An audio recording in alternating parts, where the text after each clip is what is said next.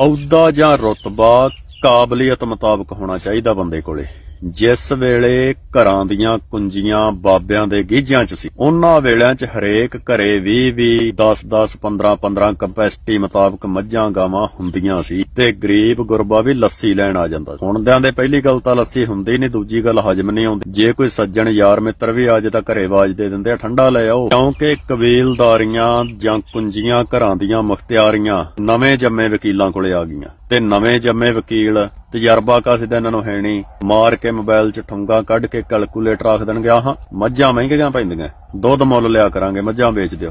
ਕਿੱਲਾ ਪੱਠੇ ਵੀ ਜਿਹਦੇ ਕਿੱਲੇ ਦਾ ਠੇਕਾ ਇੰਨਾ ਹੈ, ਮੱਝ ਇੰਨੇ ਦੀ ਆ ਗਾਂ ਇੰਨੇ ਦੀ ਆ ਇੰਨਾ ਚਾਰਾ ਖਾ ਜਾਂਦੀ ਆ ਸਾਲ 'ਚ ਇੰਨਾ ਵਿਆਜ ਪੈ ਜਾਂਦਾ ਤੇ ਦੁੱਧ ਮੁੱਲ ਸਸਤਾ ਪਊਗਾ। ਮੁੱਲ ਦੁੱਧ ਸਸਤਾ ਪੈ ਜਾਂਦਾ ਇਹਦੇ 'ਚ ਕੋਈ ਸ਼ੱਕ ਨਹੀਂ।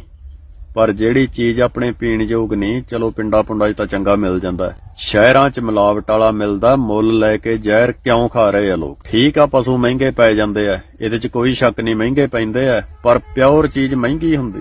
ਜ਼ਿੰਦਗੀ 70 75 ਸਾਲ ਦਾ ਟੂਰ ਹੈ, ਇੱਥੇ ਕੋਈ ਆਪਾਂ ਕੱਲੀਆਂ ਬਚਤਾਂ ਕਰਨੀ ਨਹੀਂ ਆਏ ਬਚਤਾਂ ਕਰਨ ਵਾਸਤੇ ਹੋਰ ਬਹੁਤ ਕੰਮ ਹੁੰਦੇ ਆ, ਪਰ ਯਾਰ, ਰੋਜ਼ ਜਿਹੜੀ ਚੀਜ਼ ਨਾਲ ਰਸੋਈ ਚੱਲਣੀ ਆ, ਉਹਦੇ 'ਚ ਕਦੀ ਕਿਰਸਾ ਮਹਿੰਗੇ ਤਾਂ ਹੁਣ ਬੰਦੇ ਵੀ ਪੈ ਜਾਂਦੇ ਆ। ਜਿਹੜਾ ਬੰਦਾ ਕੋਈ ਕੰਮ ਨਹੀਂ ਕਰਦਾ, ਉਹ ਬੰਦਾ ਵੀ ਘਰਦਿਆਂ ਨੂੰ 200 ਰੁਪਏ 'ਚ ਰੋਜ਼ ਪੈ ਜਾਂਦਾ, ਉਹਨੂੰ ਕਿੱਥੇ ਛੱਡ ਆਉਣ? ਮਹਿੰਗਾ ਸਸਤਾ ਵੇਖ ਕੇ ਜ਼ਿਮੀਂਦਾਰੇ ਨਹੀਂ ਚੱਲਦੇ ਹੁੰਦੇ।